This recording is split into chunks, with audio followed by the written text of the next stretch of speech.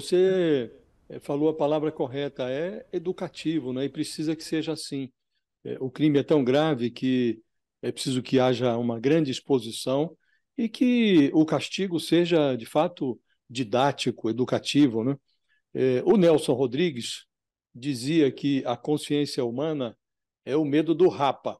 No fundo, todo mundo vive esperando por um rapa metafórico que o lace, que o recolha na primeira esquina. E no caso dos golpistas do 8 de janeiro, o Rapa não é o carro apinhado de fiscais, o carro da prefeitura, é o camburão da Polícia Federal.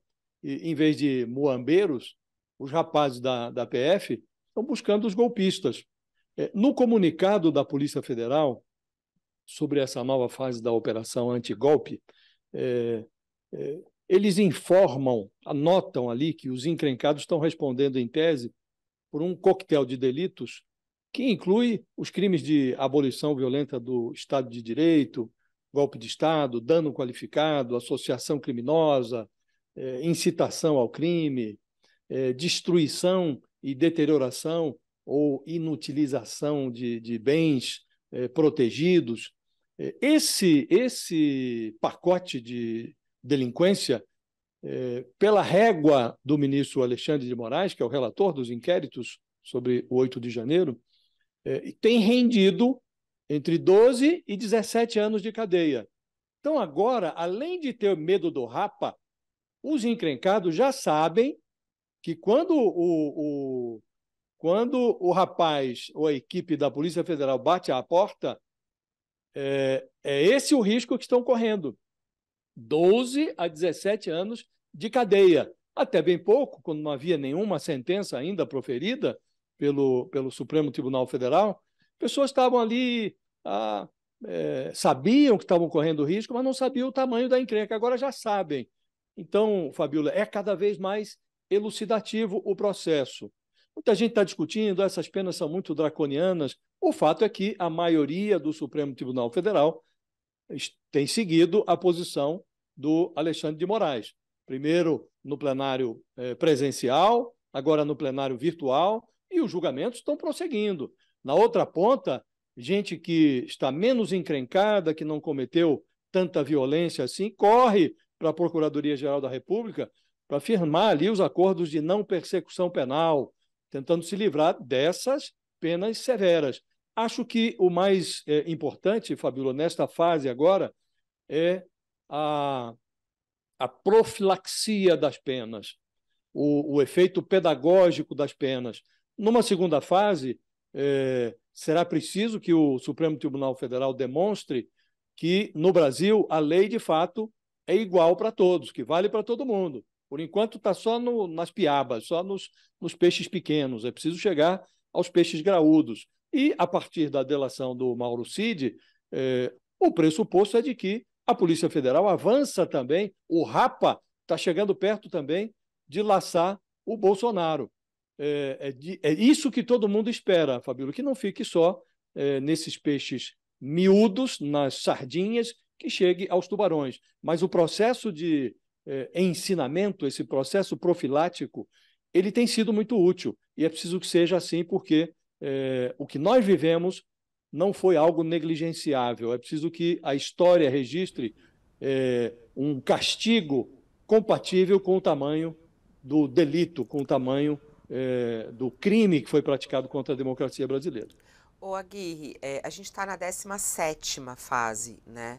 É, não existe previsão para o término disso, né? Porque a gente vê essa operação ela acontecer ao mesmo tempo em que tem o julgamento no Supremo Tribunal Federal. Mas ainda eles seguem fazendo várias investigações. Não existe um prazo, é, tem alguma pista é, de qual, qual, qual, é o caminho é, ou não? Eu ia até brincar, será que a Lesa Pátria vai ter mais fases do que a Lava Jato? Que deve ter tido umas 50, pelo que eu me lembro de cabeça. Tá parecendo que vai nesse ritmo. No, na própria nota da Polícia Federal, eles dizem que a Lesa Pátria se tornou uma operação meio que permanente. É, o fato é que ainda, apesar de vários é, invasores e incitadores terem sido já denunciados e estarem sendo julgados, é, ainda houve uma grande quantidade de pessoas que não chegou a ser presa naquela ocasião do 8 de janeiro e que é, permanece na mira das autoridades. Por isso que, aos pouquinhos, a Polícia Federal vai levantando provas é, e chegando a esses outros nomes. A gente tem que lembrar, como o Josias bem falou, que ainda não chegaram ao andar de cima. Não houve ainda nenhuma denúncia contra os financiadores, não tem nenhum financiador nem próximo de ser julgado.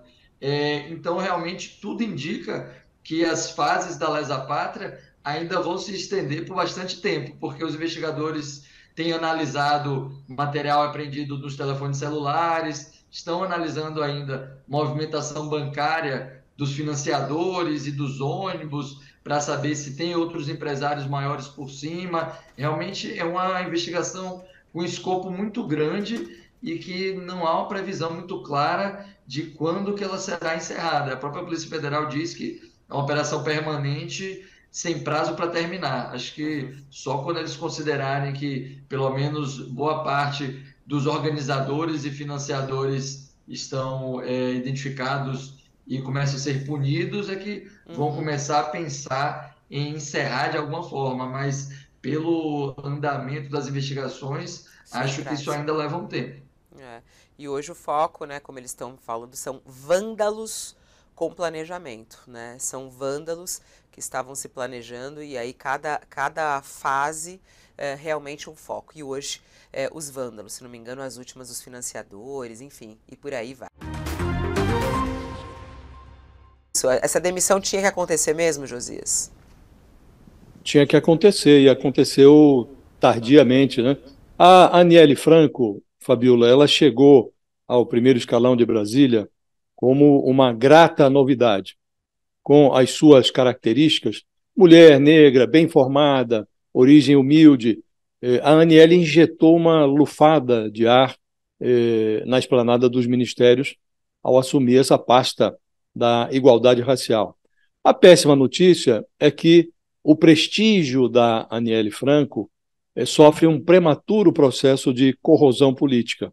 A má notícia é que a ministra ainda não se deu conta de que o poder público, quando mal exercido, vira impotência pública. E a boa notícia é que ainda há tempo para uma correção de rumo. É, Misturam-se nesse processo de desgaste da Aniele o descuido, o deslumbramento e uma dose de ganância até. A ministra foi descuidada ao transformar a assinatura de um protocolo sobre o combate ao racismo é, no esporte, ela transformou a assinatura desse protocolo num passeio de domingo pelo estádio do Morumbi.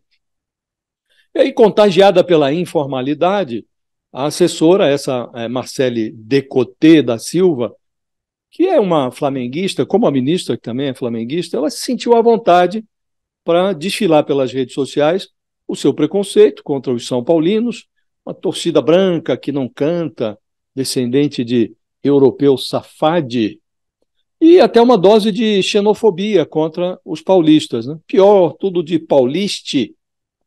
E ela perdeu, com 48 horas de atraso, um contra-cheque de 17 mil reais. Então ela ganhava 17 mil reais e deveria ter utilizado essa remuneração para fazer jus ao programa que estava sendo lançado, um programa meritório lançado lá no Morumbi. A Aniele Franco foi é, deslumbrada ao imitar o colega do, dos esportes, o André Fufuca, que é, utilizou como meio de transporte para se deslocar até a capital paulista, estava ele também nesse é, evento do Morumbi, e utilizou é, também é, o, o, avião da FAB. Ambos, a Aniele e o Fufuca, voaram nas asas da Força Aérea Brasileira para São Paulo.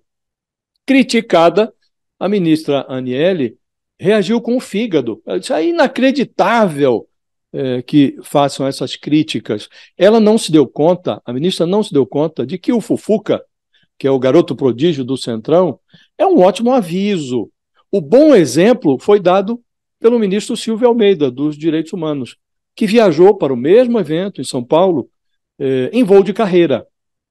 A ministra Fabíola deixou-se contaminar pela ganância quando ela aceitou integrar, no final de agosto, eh, como representante do BNDES, o conselho de administração de uma metalúrgica privada uma metalúrgica chamada Tupi.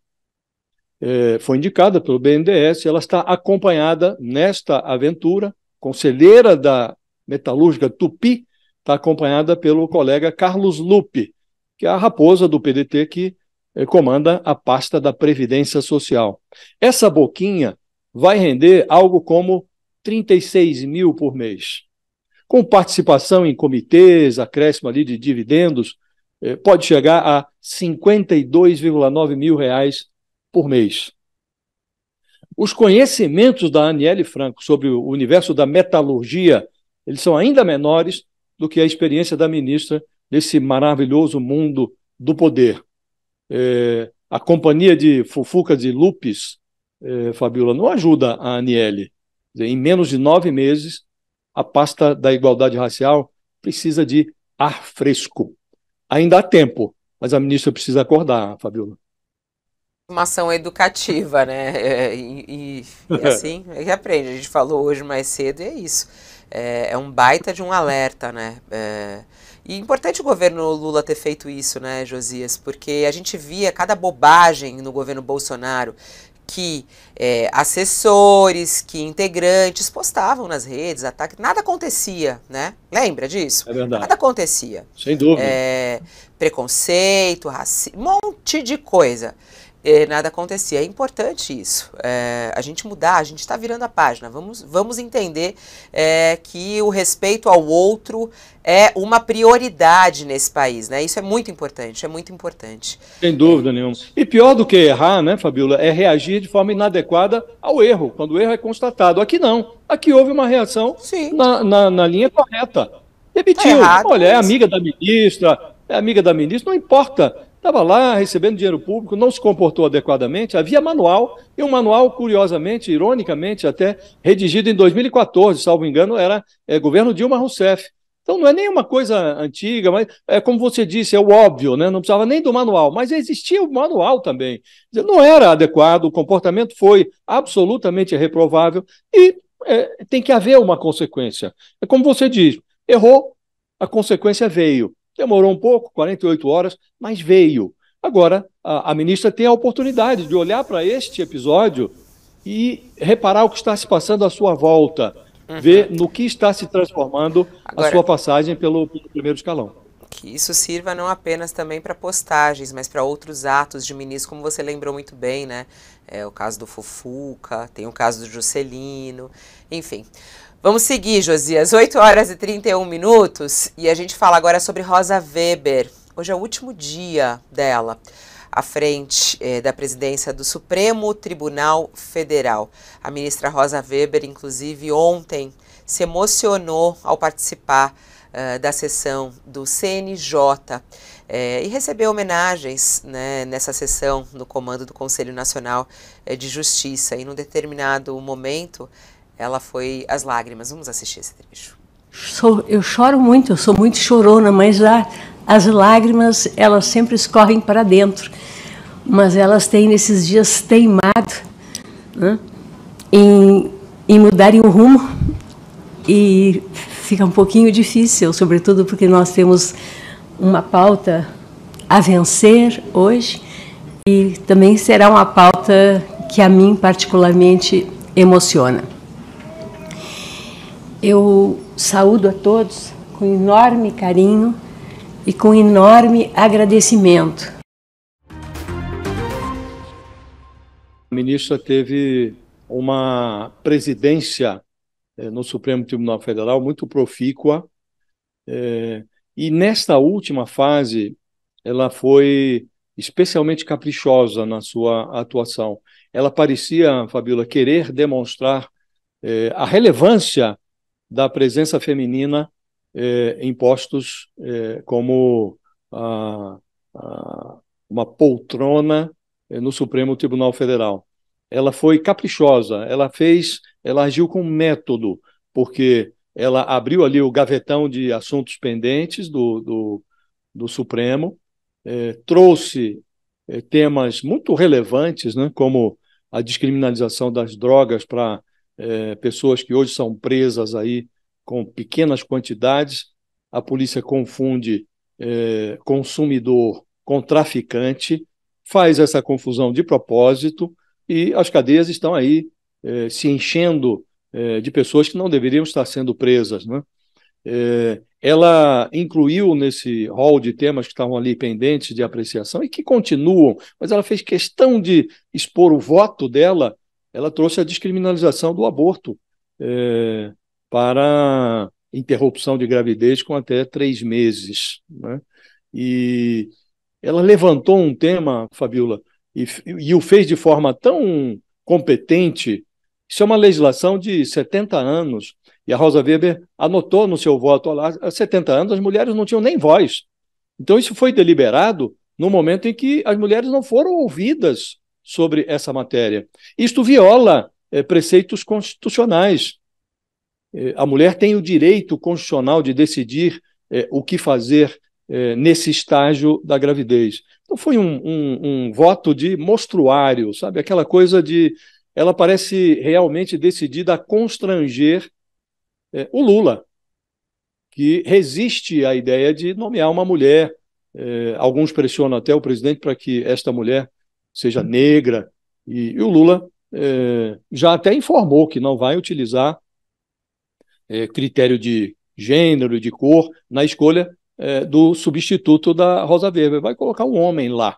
Já sinalizou isso.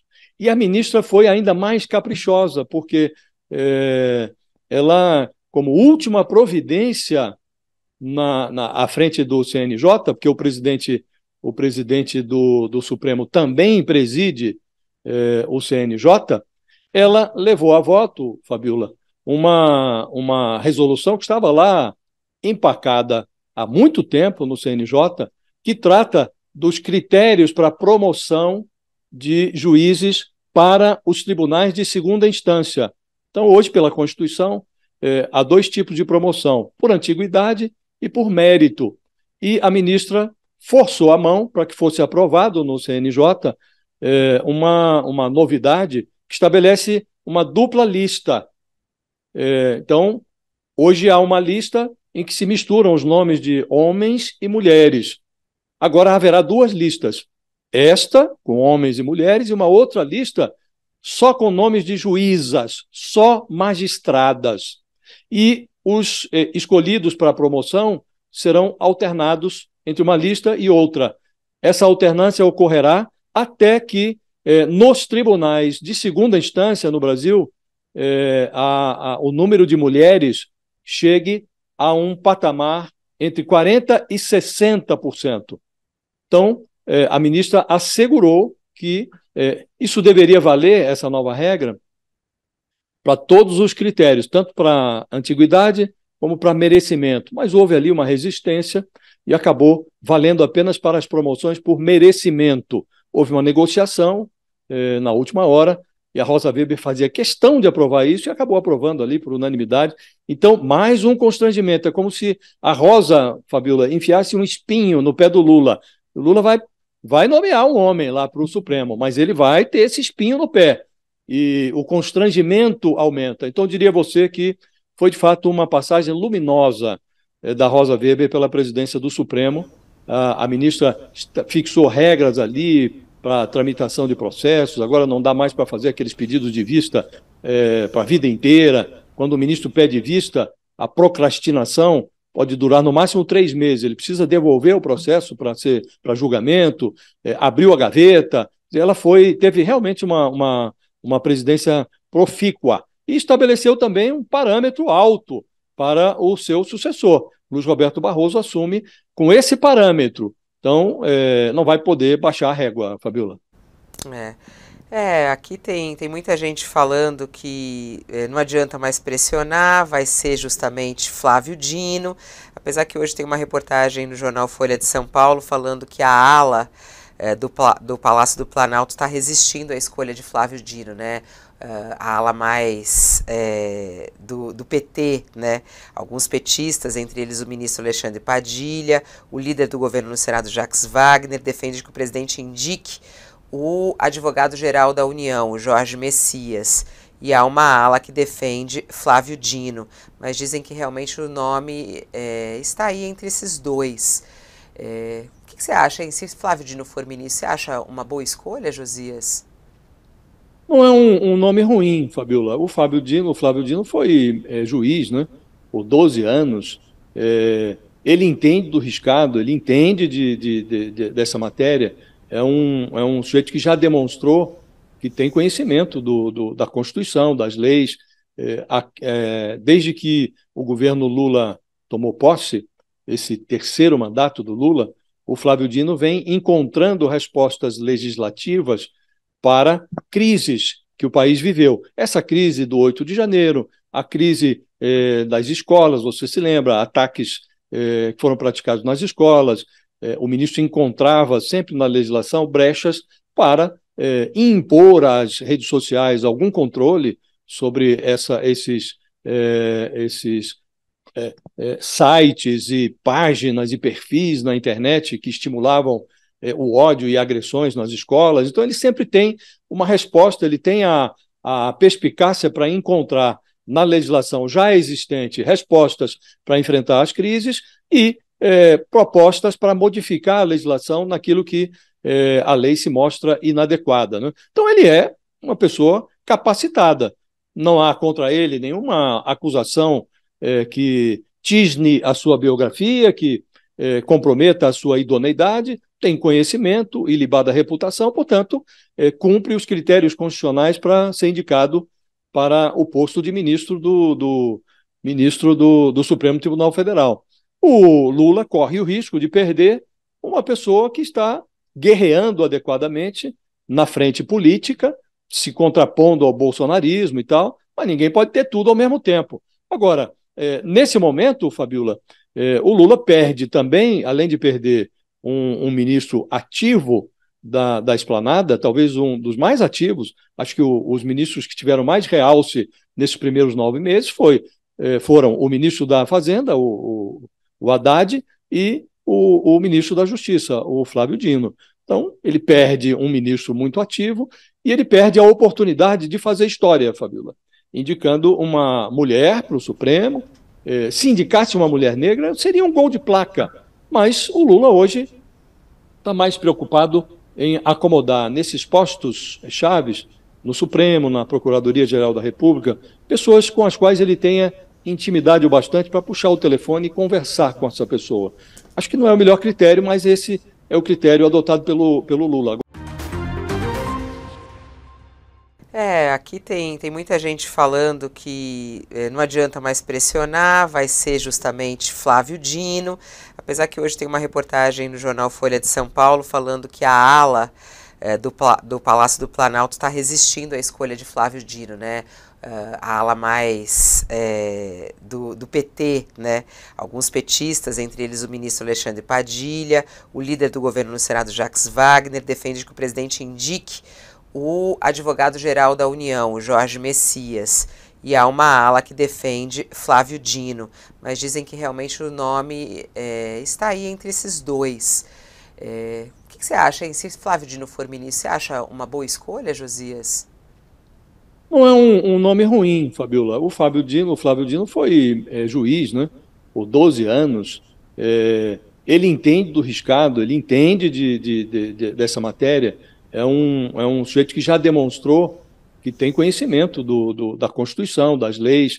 É, é, desde que o governo Lula tomou posse, esse terceiro mandato do Lula, o Flávio Dino vem encontrando respostas legislativas para crises que o país viveu. Essa crise do 8 de janeiro, a crise é, das escolas, você se lembra, ataques é, que foram praticados nas escolas, é, o ministro encontrava sempre na legislação brechas para é, impor às redes sociais algum controle sobre essa, esses, é, esses é, é, sites e páginas e perfis na internet que estimulavam é, o ódio e agressões nas escolas. Então, ele sempre tem uma resposta, ele tem a, a perspicácia para encontrar na legislação já existente respostas para enfrentar as crises e é, propostas para modificar a legislação naquilo que é, a lei se mostra inadequada. Né? Então, ele é uma pessoa capacitada.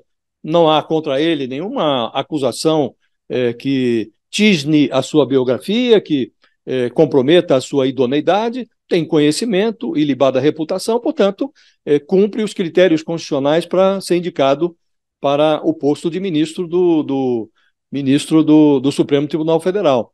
O Lula corre o risco de perder uma pessoa que está guerreando adequadamente na frente política, se contrapondo ao bolsonarismo e tal, mas ninguém pode ter tudo ao mesmo tempo. Agora, é, nesse momento, Fabiola, é, o Lula perde também, além de perder um, um ministro ativo da, da esplanada, talvez um dos mais ativos, acho que o, os ministros que tiveram mais realce nesses primeiros nove meses foi, é, foram o ministro da Fazenda, o, o, o Haddad, e o, o ministro da Justiça, o Flávio Dino. Então, ele perde um ministro muito ativo e ele perde a oportunidade de fazer história, Fabiola, indicando uma mulher para o Supremo. Eh, se indicasse uma mulher negra, seria um gol de placa. Mas o Lula hoje está mais preocupado em acomodar nesses postos chaves, no Supremo, na Procuradoria-Geral da República, pessoas com as quais ele tenha intimidade o bastante para puxar o telefone e conversar com essa pessoa. Acho que não é o melhor critério, mas esse é o critério adotado pelo, pelo Lula. Agora, não dá para dizer que se o escolhido for o Flávio Dino, que é um desqualificado. Não é. Qual